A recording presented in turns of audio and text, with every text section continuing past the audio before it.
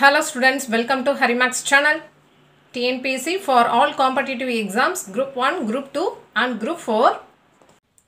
TNPSC first topic converting fraction to percentage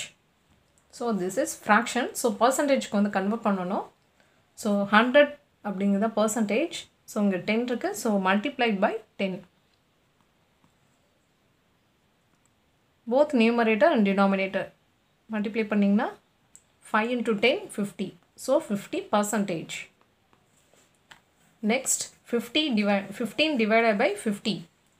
so 100 denominatorல 100 வரணும் so multiply by 2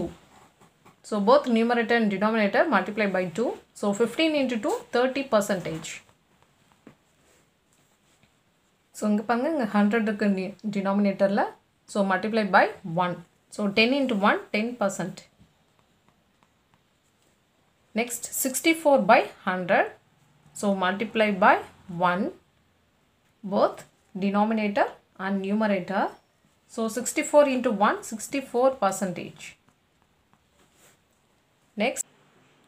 seventy five by hundred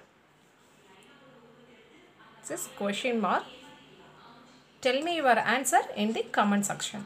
thank you harimax channel subscribe பண்ணிக்கோங்க